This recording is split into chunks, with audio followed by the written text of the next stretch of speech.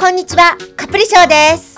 今回はですね、こんな感じのお化けを作っていきたいと思います。ペラッペラのお化けです。下がペロッと出ている作品です。こんな感じに口の中に手を入れている。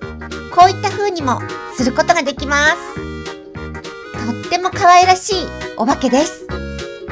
それでは早速、作っていきます。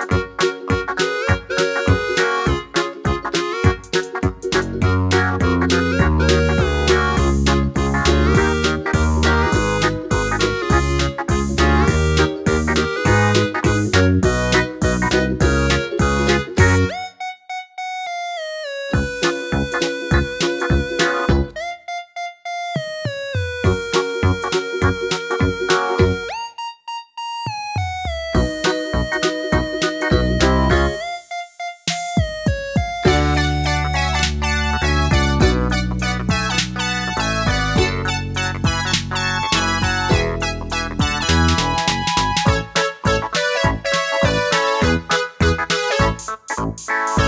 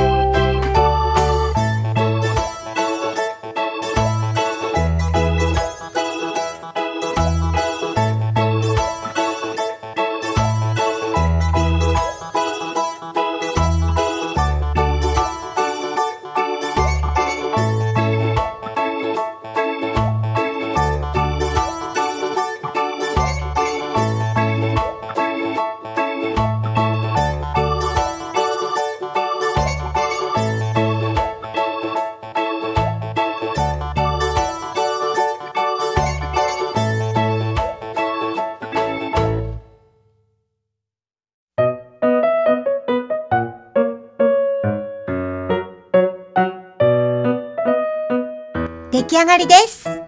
最後までご視聴いただきありがとうございました。チャンネルが良かったら、いいね、チャンネル登録、よろしくお願いします。